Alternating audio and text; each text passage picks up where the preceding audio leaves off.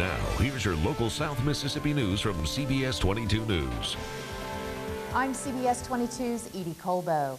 A recent arrest hasn't stopped one man from protesting the war in Iraq. That's our big story from the Pine Belt. William McLean and his wife Lynn spend the first Wednesday of every month protesting at the intersection of Highway 49 and Hardy Street.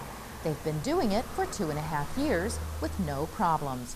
But on March 5th, William was arrested and charged with disorderly conduct, a charge he says was not warranted. CBS 22 talks with McLean about what he says really happened. Protesting the war is CBS 22's big story. William McLean and his wife Lynn have one simple request. They want U.S. troops fighting in Iraq to come home. We always try to re remain peaceful, and, and two thirds of the people respond positively.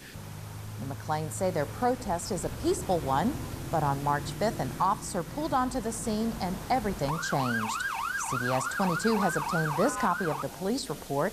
It says McLean began to fuss at the officer and was loud enough to cause people to come out of a nearby restaurant.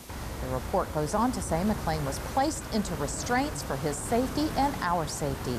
But McLean says it didn't happen like that. One of them arrested me when I said, uh, what are you going to do if I don't put down my signs? Uh, when he told me to put down my signs, he said to the other officers who were standing by their cars, I'm going to arrest this man. I asked him what law I was breaking, and he said, you're within 50 feet of an intersection. And I asked them to charge me with that charge, but what they charged me with was disorderly conduct. McLean appeared in court where it was decided the charges would be dropped as long as McLean has no more problems with the police within six months. This isn't stopping the McLeans from protesting. No, no, we're going to persist. We're, we're out here for one hour every month. Go to WHLT.com for news anytime.